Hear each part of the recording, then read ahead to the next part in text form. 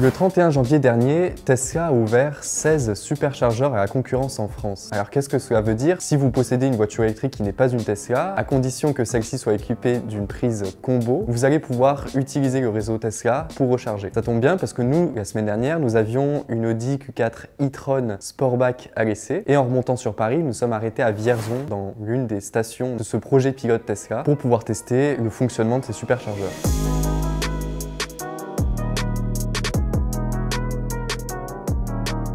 Pour la petite anecdote, cet essai euh, donc de l'Audi, nous ne l'avons pas du tout planifié en vue de cette ouverture des superchargeurs. En fait, ce qui s'est passé, c'est que quand on a récupéré la voiture, on était encore aux alentours du 25 euh, janvier, quelque chose comme ça, et Tesla n'avait absolument pas annoncé euh, quelconque ouverture de ces superchargeurs. Et sur euh, notre allée donc de Paris jusqu'à Montpellier, je me suis retrouvé sur une station où il y avait à la fois des superchargeurs Ionity et des superchargeurs Tesla. Et sur une des, des stèles de Tesla, il y avait un propriétaire d'un Land Rover qui s'était mis et qui essayait de charger sa voiture dessus. Et il comprenait pas parce que ça ne fonctionnait pas. Trois jours après, quelque chose comme ça, euh, Tesla a fait son annonce et à partir de là, euh, moi j'en ai profité sur le trajet du retour, donc en remontant à Paris, sur l'une des 4 ou 5 arrêts, quelque chose comme ça, de, recharge que j'ai dû faire pour ce trajet, donc de, Montpellier à Paris. J'en ai profité donc euh, pour aller euh, essayer ces superchargeurs. Le timing était un peu serré parce que je devais après pouvoir rentrer à Montpellier le même jour, donc prendre mon avion. Donc je vous avoue que cette vidéo, euh, ça a été euh, beaucoup de sport. Ce qui est bien donc avec euh, cette euh, expérience qu'on vous fait aujourd'hui, mon retour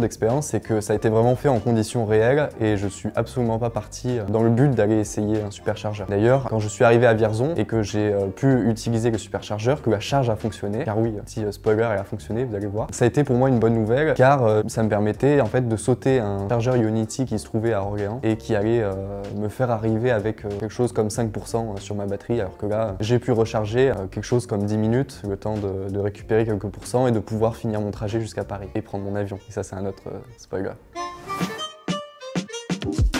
Si vous possédez une Tesla, c'est très simple, il suffit d'utiliser le réseau superchargeur pour votre voiture. Maintenant, si vous possédez une voiture qui n'est pas une Tesla, il y a plein d'autres solutions, mais la plus connue et la plus populaire, la plus distribuée aussi en France, c'est le réseau Ionity. Le réseau Ionity, c'est un énorme consortium avec plusieurs marques, notamment le groupe Volkswagen, qui comprend donc Audi, et c'est un réseau de recharge dit rapide qui va jusqu'à 350 kW. Le problème avec le réseau Ionity, c'est encore une fois le nombre de stations en France et le nombre de bornes aussi qui se trouvent sur ces stations. On peut très vite devoir attendre que d'autres voitures rechargent. Et au niveau de la tarification, depuis quelques temps, Ionity a décidé de passer à la tarification à la minute. Et ça change beaucoup de choses. C'est très handicapant pour toutes les voitures qui ont une vitesse de recharge beaucoup plus lente. En gros, si votre voiture recharge à moins de 100 kW, la tarification à la minute est plutôt handicapante. Avant d'entrer dans le détail des tarifs entre le réseau superchargeur et celui d'Ionity, on va parler de comment tout simplement recharger une voiture électrique hors Tesla sur un superchargeur. Alors pour commencer, il faut télécharger l'application Tesla. Vous pouvez dire au revoir à votre carte ChargeMap ou votre carte de votre constructeur que vous utilisiez jusqu'à maintenant sur le réseau Unity. Là maintenant, il va falloir utiliser uniquement l'application Tesla. Il faudra créer un compte et enregistrer ses coordonnées bancaires. Une fois que cela est fait, vous pouvez vous rendre sur la station la plus proche et à partir de là, euh, sélectionner depuis le menu d'accueil le nouvel onglet chez Tesla qui permet de recharger si vous n'avez pas une Tesla. À partir de là, il faudra que vous gariez votre voiture sur une borne de recharge, puis que vous sélectionnez la borne correspondante. Il y a un petit euh, numéro avec une lettre marquée euh, sur la stèle et à partir de là, sélectionnez confirmer et la charge commencera. Parmi euh, les erreurs que nous avons fait lors de notre première recharge en découvrant le système, la première fut d'enregistrer nos coordonnées bancaires et non pas ceux de notre carte bancaire. Autrement dit, on avait enregistré notre RIB et la recharge n'a pas fonctionné. Il faut vraiment utiliser votre carte bancaire. La deuxième erreur fut de sélectionner la borne sur l'application avant de brancher le câble sur la voiture. Il faut d'abord sélectionner la stèle que vous souhaitez, vous garer, brancher votre voiture et une fois que la voiture a reconnu euh, qu'elle était bien branchée sur le superchargeur, là vous pouvez choisir la borne et euh, démarrer votre recharge depuis l'application.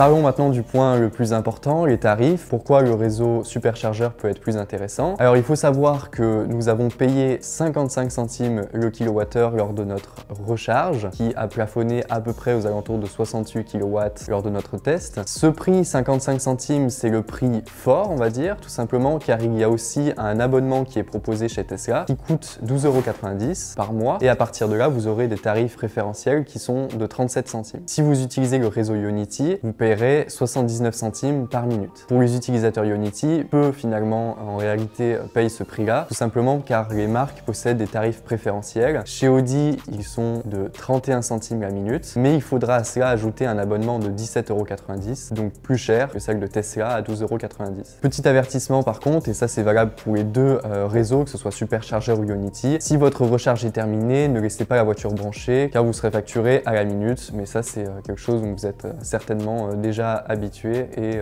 bien informé. Alors quoi penser de l'ouverture des superchargeurs à concurrence en France? Eh bien, nous ce qu'on en retient surtout, c'est que pour toutes les voitures qui chargeaient à une puissance de moins de 100 kW, le tarif de chez Tesla est beaucoup plus intéressant. Maintenant, on vous invite à vous faire vos calculs, mais globalement pour une voiture qui va être chargée à moins de 100 kW, pour notre cas, l'Audi était aux alentours de 125 kW au maximum, mais en réalité, on était toujours en dessous de 100, on était parfois limité, on plafonnait à 50 kW. Donc là, pour le coup, on aurait préféré être sur un superchargeur de Tesla pour ne pas être handicapé de passer une heure et demie euh, sur, euh, sur ces chargeurs qui auraient pu nous prendre bien moins de temps si euh, la charge était plus rapide. Maintenant, si vous avez une voiture qui peut monter jusqu'à 150, voire 200, 250 kW, comme une Audi e-tron, une Porsche Taycan, une Model 3 aussi, Unity peut sembler beaucoup plus intéressant. Et enfin, si vous avez déjà un abonnement chez Unity, il faut peut-être en profiter. La bonne nouvelle aussi qu'on peut en retenir, c'est que maintenant pour le client, il va avoir beaucoup plus de possibilités. Je ne l'ai pas encore rappelé, mais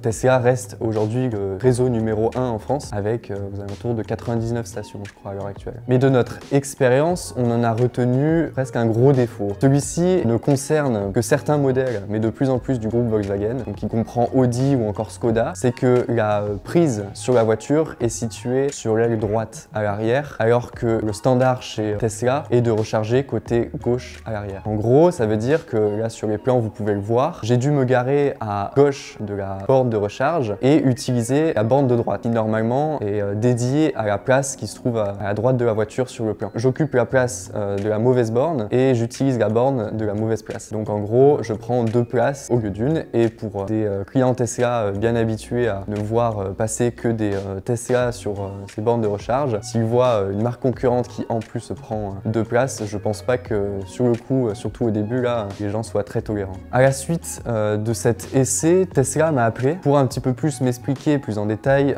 pourquoi ils avaient fait ce, ce, test grandeur nature. Donc je le rappelle sur 16 stations et non pas sur toutes les stations. Ils ont bien étudié euh, quelles stations ils allaient pouvoir ouvrir. Ils ont sélectionné uniquement celles qui ont moins de personnes et surtout un nombre de bornes important. Il faut reconnaître que la station qu'on a utilisée à Vierzon, donc au sud de Paris, possède 36 bornes. Sachant que toutes euh, fonctionnent de façon indépendante, c'est-à-dire que si elles sont toutes euh, utilisées, vous pourrez tout de même charger avec une puissance maximale. Ce sont toutes donc des stations qui normalement n'auront pas de problème avec une suroccupation euh, des, des bornes de recharge. Pour conclure cette expérience, la bonne nouvelle c'est que Tesla s'ouvre et ça on peut pas leur reprocher, on leur a bien reproché le contraire depuis toutes ces années. Aujourd'hui toutes les marques vont pouvoir utiliser différentes stations compatibles. L'autre bonne nouvelle aussi, euh, même si ça fait euh, déjà quelques temps, c'est de signaler que toutes les voitures aujourd'hui, toutes ces voitures 100% électriques ont une prise combo, donc c'est un modèle standard aujourd'hui toutes les voitures l'ont et il n'y a pas voilà, de conflit à savoir euh, eh ben, si on possède une Audi il faut aller sur tel ou tel chargeur et non pas sur un autre. Aujourd'hui tout cela euh, est en train de devenir homogène et de devenir simple. Et si la voiture électrique peut devenir simple et se rapprocher au plus d'une utilisation comme une voiture thermique, eh ben ça sera déjà un grand pas de fait et une grande contrainte en moins lors de l'achat d'une voiture électrique. Je vous remercie d'avoir regardé cette vidéo. N'hésitez pas si vous avez des commentaires, c'est juste en dessous que ça se passe. J'aurai plaisir d'y répondre. N'hésitez pas aussi à mettre un gros post bro. C'était Adrien pour la chaîne de Presse